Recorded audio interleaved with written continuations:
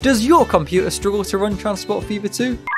Today I'm going to show you how to basically double your FPS in any Transport Fever 2 save and it's so so simple to do. So let's show you how to do it. So close down Transport Fever 2 and go to your Steam library and then Transport Fever 2. Once you're here, simply press the workshop button underneath achievements and then go to search at the top right and we're going to type in performance.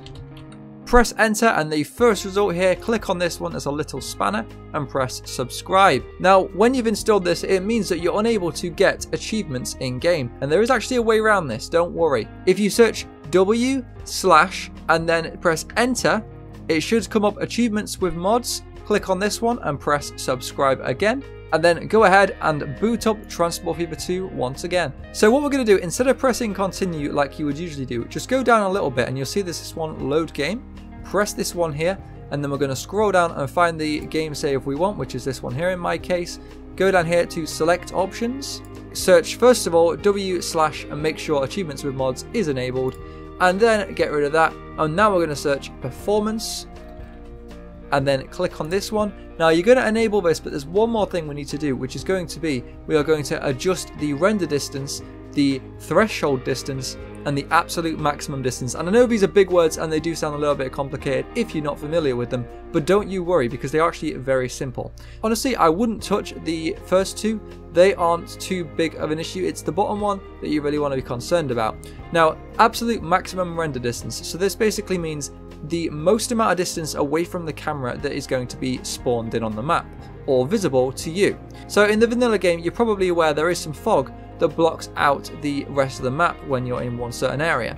Now when you're all the way zoomed out, this absolute maximum render distance is about 25,000. So you can set it to whatever number you want here, just remember the top value here is going to be pretty much the game's default.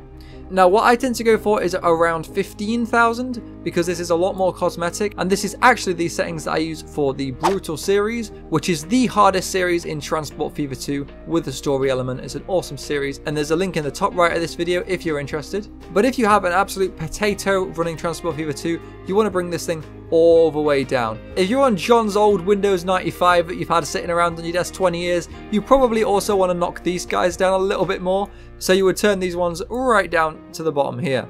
But we don't want that, we just want the default values because these top two are really going to affect the visuals in the game. So once you've done that and you've chosen the bottom slider that you want the most, so in this case I'm going to go for the default 10,000, but we're going to leave turn on custom presets alone, we don't need to touch that one, and they're going to press OK at the bottom, and then start game.